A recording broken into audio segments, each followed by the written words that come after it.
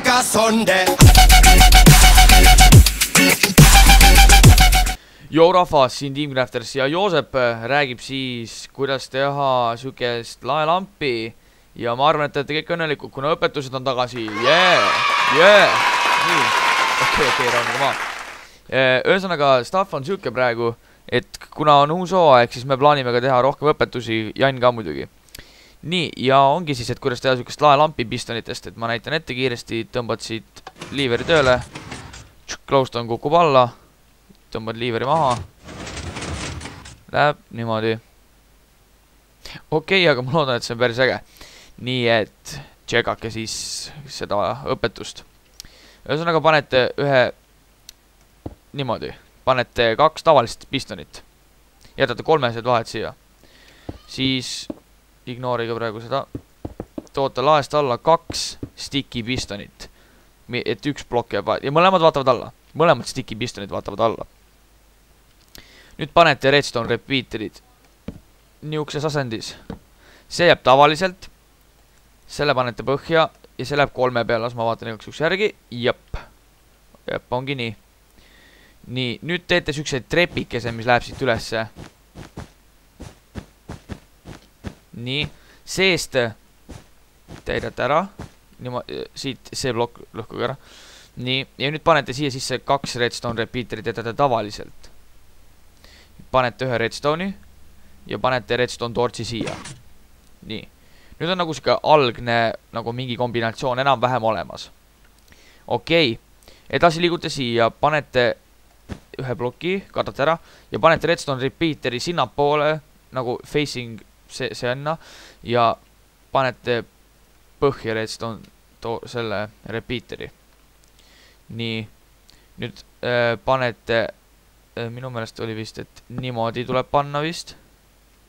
ma saan seda järgi ka vaadata. jep. ja äh, toote siit äh, siukse trepikese jällegi. ja nüüd see on see koht, kus see liiver käib, seda praegu pole mõtet panna. ja panete nüüd sinna ja sinna kaks redstone torch'i. okei okay., okei okay., nüüd panete ühe ploki maha siia kohta ja panete redstone repeater'i peale. ja nüüd see tuleb panna põhja. nii. ja nüüd toote siit ühe tavalise sticky pistoni, panete niimoodi. okei okay,, arusaadav. Ja nüüd võtate kätte, panete siia ühe ploki maha. Ja nüüd panete niimoodi, kaks korda vajutate, et üks jääb lõpust puudu. Nüüd panete niimoodi plokid, nii, ja nüüd redstone dust ja redstone repeater. ja peakski põhimõtteliselt valmis olema, aga nüüd üks asi on lisamata, nimelt see on glowstone. ja vaatame siis, kas töötab. nägite? ja tuligi põhimõtteliselt sul valgustus, kui ma nüüd siit kinni kataks, siis, siis oleks valgustus majas nii. nii, praegust on lights on. Lights off, täiesti pime. Ja põhimõtteliselt niimoodi see töötabki siis. et näete, süsteem lükkab glowstone'i alla ja nüüd, kui vajutad leverist kinni, toob ta selle ülesse aga nüüd seda, kuidas te ise soovite nagu switch'i, et kui siit tahab alla tulla, et, et äh, mina ei tea, toote siit repeater'i ja siis äh, viite mina ei tea mööda seina alla ja vaadake, et power muidugi ära ei kustu. ja põhimõtteliselt tuleb siis panna niimoodi.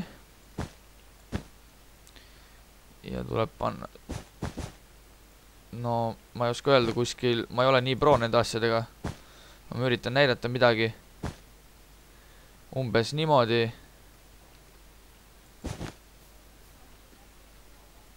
see siia ette. no ja nüüd peaks töötama.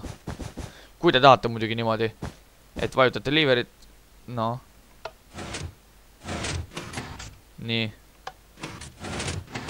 okei. Okay., ja ma arvan, et see oligi siis eh, nagu sihuke esimene õpetus, et tundub päris äge see süsteem olevat, vaadake, et te midagi valesti ei tee, jätke meelde need äh, tiksid, palju, mitu tikki te peate panema. Ja ma ei oskagi muud öelda, ma ei tea, kui hea minu nagu õpetus on, sest ma ütlen kogu aeg, et pange see plokk siia ja see siia, sest vaata, ma nagu suht ei oska öelda, et kas see plokk nüüd blokib selle redstone'i selle mõju ära või selle torch'i mõju või selle mõju. Ja pff, lihtsalt see on nagu kopeeritud küllaltki kellegi teiste videote pealt, aga lihtsalt ma teen eesti keelde ja näitan teile.